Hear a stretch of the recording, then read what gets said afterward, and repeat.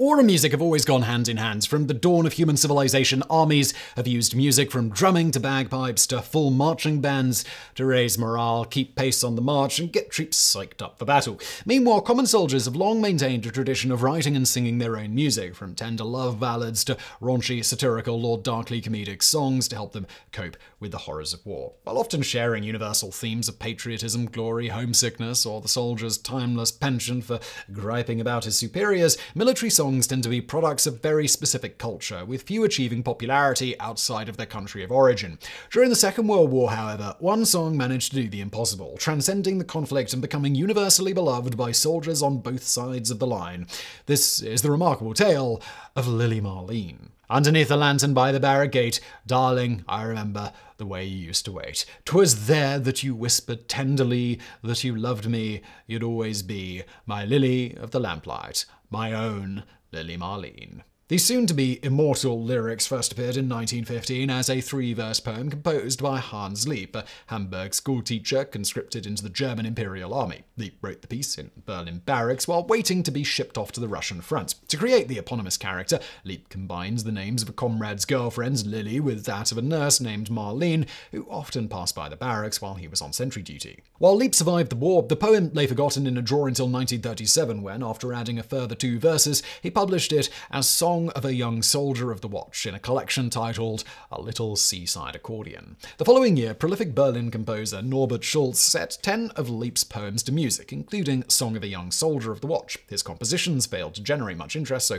Schultze distributed copies to a number of his artist friends, including Danish born cabaret singer Liselott Wilk, better known by her stage name, Lale Anderson. After performing the song for several months at Berlin's Cabaret de Comica on August 2, 1939, Anderson recorded it under the title Song of a Young Sentry. Uh, unfortunately, the Reich propaganda ministry under Dr. Joseph Goebbels was unimpressed with the recording, finding it too delicate and sentimental and preferring patriotic marches.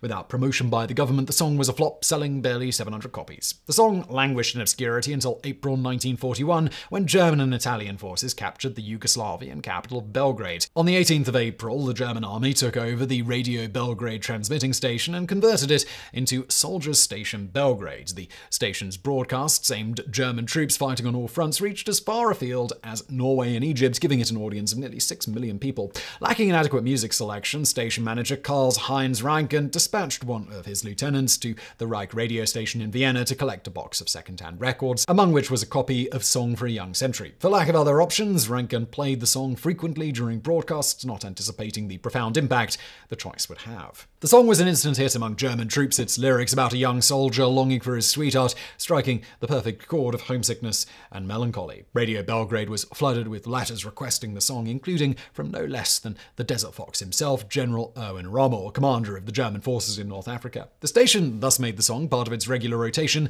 using it to sign off its broadcast at 9:55 p.m. Surprisingly, the song, by now universally known as Lily Marlene, proved equally popular on the other side of the line, becoming a favorite of British and later American troops fighting in North Africa. Soldiers tuned in religiously at 9:55 every evening to hear the song while, according to legend, the guns fell silent whenever Lily Marlene was on the air. As Werner Hofmeister, a soldier in the German Africa Corps, later recalled, it was on the Tobruk front, the beginning of May 1941. The front lines were very close together. In the evenings, you could move out of your positions little by little to stretch your legs, and then our Wehrmacht radio receiver, the link to home, went into action. The high point at 10 p.m. was the Belgrade radio program. Lale Anderson, accompanied by a Luftwaffe orchestra, singing Vorder Kasern, De Gros and Tor, and when we were sitting around in the evenings, all of us listening in silence, there was a noise of some kind coming suddenly from the other side, about 80 meters away, and a voice calling out, Comrades!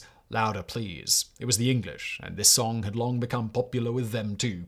In this way, we had a real pause in the fighting. Evening by evening during this time, no shots were fired, and right afterward, it was still quiet. So beloved was the song by British troops that Allied commanders began to worry about its effects on morale, chastising soldiers who sang along with the broadcast in German.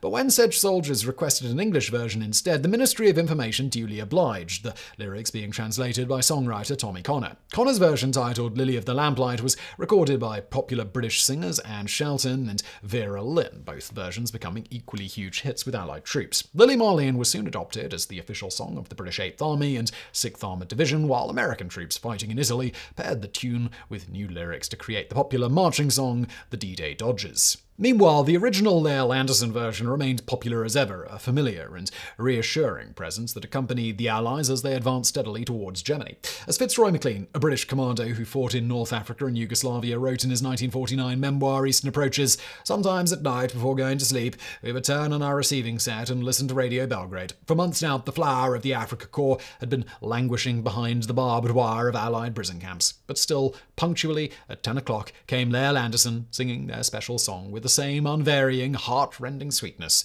that we knew so well from the desert. Husky, sensuous, nostalgic, sugar sweet, her voice seemed to reach out to you as she lingered over the catchy tune, the sickly, sentimental words. Belgrade, the continent of Europe, seemed to be a long way away. I wondered when I would see it again and what it would be like by the time we got there. The German propaganda ministry, however, was less impressed by the song's cross cultural appeal and what they saw as its portentous and unpatriotic themes. At the same time, Lale Anderson came under the suspicion from the German authorities due to her close relationship with Jewish musician Rolf Liebermann. As a result, Anderson was prohibited from singing in public for nine months, while Lili Marleen was banned from the airwaves. Allied propaganda capitalized on the song's absence, with BBC's German language service asking listeners, Have you noticed that you haven't heard this song in quite some time? Why might that be? Perhaps because Lale Anderson is in a concentration camp. This was followed by German expatriate Lucy Mannheim singing a parody version of the song, whose taunting lyrics translated to Maybe you'll fall in Russia, maybe in Africa, but wherever you fall, that's how the Fuhrer wants it. And if we should meet again, then let the lantern stand in another Germany. Yours, Lily Marleen. Only after Radio Belgrade received thousands of angry letters from German soldiers fighting on the Eastern Front did the song return once more to the airwaves. Finally, recognizing the psychological value of the song's popularity with the Allied forces, in 1942 the Propaganda Ministry commissioned its own English version with lyrics translated by British traitor Norman Baillie-Stewart. A fascinating character, by the way, Baillie-Stewart is worth a video on his own. An officer in the British Indian Army, Baillie-Stewart was cashiered in 1931 for defiling a graveyard of the Northern Afridi tribe. In 1933, he was arrested and court-martialed for selling military secrets to Germany, including the design of a new tank and automatic rifle. Convicted of treason, he was initially held in the Tower of London, the last British citizen to be so imprisoned.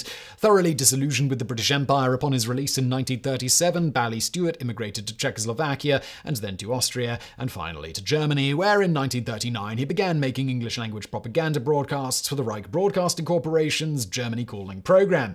Initially broadcasting under the alias Lancer, Baillie-Stewart, along with a fellow traitor William Joyce, soon became associated with the moniker Lord Haw due to the exaggerated upper-class accents that both men used during their broadcasts. Baillie-Stewart was arrested by the invading Allies in 1944 and charged with committing an act likely to assist the enemy. He pled guilty and was sentenced to five years imprisonment, after which he moved to Ireland and settled in Dublin, where he died of a heart attack in 1966. Meanwhile, the Morale Operations Branch of the U.S. Office of Strategic Services, or OSS, the precursor to the CIA, by the way, launched Operation Muzak, a series of musical propaganda broadcasts designed to demoralize enemy soldiers. As part of this operation, German expatriate singer and movie star Marlene Dietrich recorded a number of English language songs, including Lili Marlene. Touring tirelessly as part of the United Service Organization, or USO, Dietrich performed the song hundreds of times for American soldiers in the field. It soon became one of Dietrich's signature songs and a fixture of her post war cabaret shows, typically introduced with the words, Now here is a song that is very close to my heart. I sang it during the war, I sang it for three long years, all through Africa, Sicily, Italy, to Alaska, Greenland, Iceland, to England, through France, through Belgium, to Germany and Czechoslovakia. The soldiers loved it. Lily Marleen. Yet despite the dozens of versions that emerged during the war, the original Lale Anderson rendition still held a special place in soldiers' hearts. So much so that after the war, Anderson was hired by the Northwest German radio network in Hamburg and booked for countless concert hall appearances so the occupying troops could see the original Lili Marleen, that they had only known as a voice. So meteoric was the once obscure recording's rise to fame that by 1946 it had sold over a million copies, earning Lale Anderson an HMV Gold record. Of the song's original creator, Hans General Dwight D. Eisenhower, Supreme Commander of the Allied Forces, is reported to have said, He is the only German living in Germany during the war who has brought joy to the whole world. Indeed, unlike many wartime songs whose popularity was tied to a particular zeitgeist, the appeal of Lily Marlene endured far beyond the conflict, with versions charting in the US as late as 1981. The song has been recorded by dozens of artists such as Frank Sinatra, Bing Crosby, Perry Como, and Eric Burdon, and has been translated into more than 48 languages, including French, Russian, Italian, Japanese, and Hebrew. Many explanations have been put forward for Lily Marlene's extraordinary cross cultural appeal, such as its universal themes of love and longing longing. But as with many cultural phenomena, the reason for the song's success is hard to pin down and is likely the product of a variety of different factors, or as Lale Anderson herself eloquently put it, can the wind explain why it became a storm?